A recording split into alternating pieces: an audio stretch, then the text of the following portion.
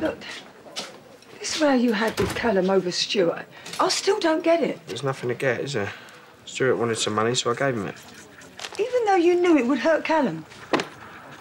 When I was in that hospital, I saw a boy who'd been really badly beaten up. That reminded me of Callum. What? So you're rowed with him?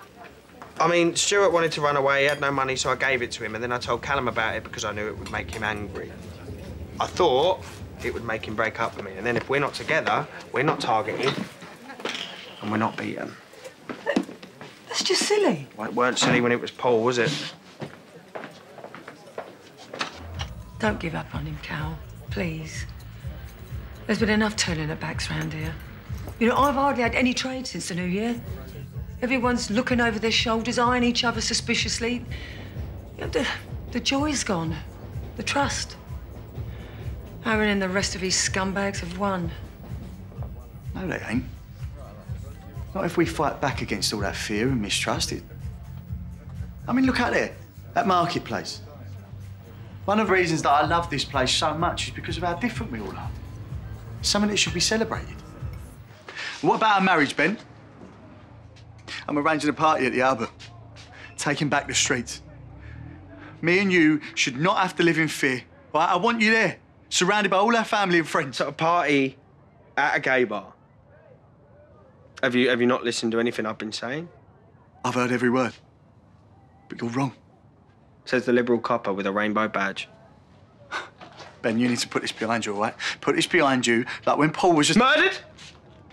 When Paul was murdered? I carry that every single day of my life, and I am not going to let the same thing happen to you. I'm not.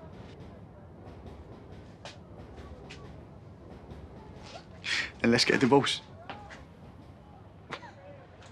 So that when I am set upon for being gay, you don't have to watch anymore. Is that what you want? Yeah? Us two not being together? I love you, Ben, so much. And I want to shout it from every single rooftop, all right? And I don't care who hears it or who's got a problem with it. That is their problem and it ain't mine and it ain't yours. You finish up at work, you do what you got to do. But please, Ben, meet me in an hour outside the Albert. One hour. If you think our marriage has got any future at all, then come and stand by my side. Cal, look who's here to help. The uh, Cappy was telling us it was all your idea. You're going to storm it, boy. Cheers. I've been spreading the word as well. I could do with a bit of a party, if I'm honest. Um, where do you want us to start? Well, uh, over there, everywhere, yeah. anywhere you can. Cheers. Lovely.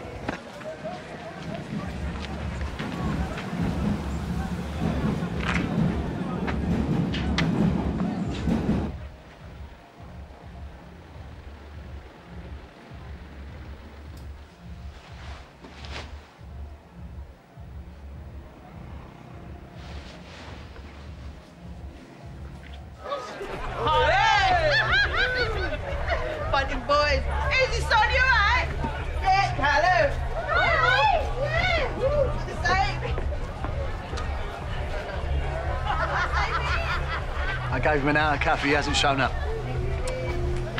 You can't give up on him, Cal. He's given up on us.